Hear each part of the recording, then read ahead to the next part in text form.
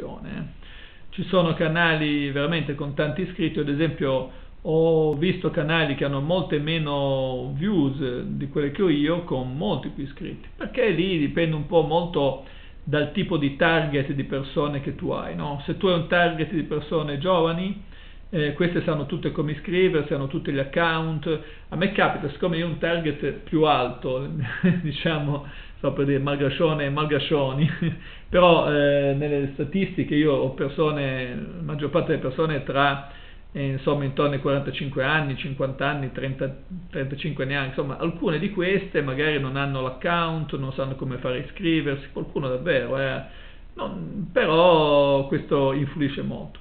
Quindi eh, per seguire il numero di iscritti è importante, ma non è l'unica cosa. Poi farò un altro video su cui spiego che cosa è secondo me veramente importante per crescere su YouTube. Crescere non è soltanto come crescere come numero di iscritti eh, poi, questa è la prima cosa.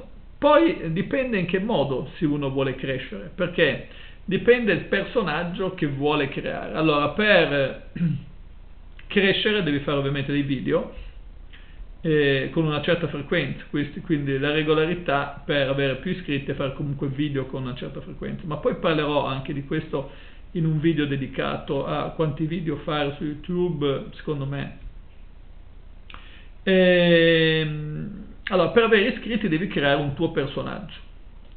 Allora, questo personaggio eh, dipende da quello che tu fai, cioè eh, se ovviamente se fai tutorial deve essere un personaggio che ha credibilità, se fai, eh, che acquisisce credibilità, se fai invece, se sei un personaggio trash, ci sono personaggi trash, diciamo così, che invece eh, fanno iscrivere le persone proprio perché eh, dire, le persone li pigliano in giro fondamentalmente, e ce ne sono molti, eh, che possono essere interpretati da un certo punto di vista anche come casi umani, per cui o che fanno video che palese, parlando magari di un tema, ma che sono video palesemente ridicoli, no? quindi di fatto acquisiscono delle persone che eh, si iscrivono proprio per, cioè gli iscritti sono i primi denigratori, no? mi vengono in mente diversi canali che non cito comunque, dove le persone iscritte comunque sono fondamentalmente quelle che poi pigliano in giro fondamentalmente, no?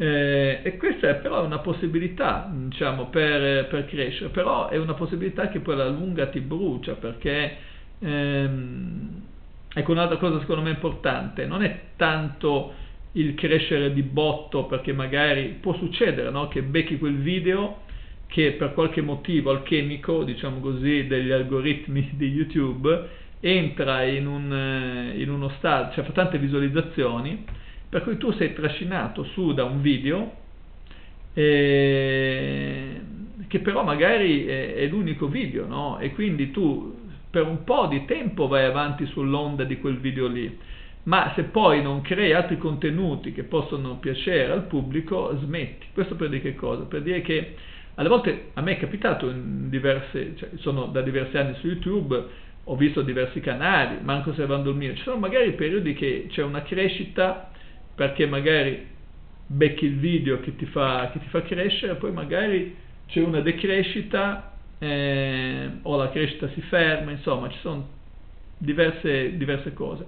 Io non credo che l'importante sia crescere tanto subito, ma avere una costanza, cioè avere un canale che comunque cresce nel tempo costantemente, senza mai arenarsi. Ci saranno sicuramente periodi negli anni in cui il canale crescerà di più, in cui il canale crescerà di meno, mm, come numero di iscritti, come... ma la cosa fondamentale è che le visualizzazioni devono essere sempre comunque in crescita quello o comunque attestarsi su un livello alto, numero di minuti di visualizzazione. E poi il numero di iscritti boh, varia un po', perché ad esempio eh, in periodi diversi in cui le visualizzazioni restano sempre costanti, ci sono periodi in cui gli iscritti aumentano, altri periodi in cui gli iscritti aumentano più lentamente. Io non ho mai avuto periodi in cui gli iscritti non sono aumentati o sono diminuiti, ma eh, periodi in cui crescevano più lentamente, periodi in cui crescevano più lentamente. Eh, detto questo, eh, la cosa fondamentale poi è, ripeto, posizionarsi. Io consiglio nel posizionarsi, per quanto riguarda i tutorial, cercando di acquisire credibilità, quindi fare video eh, serie, evitando ad esempio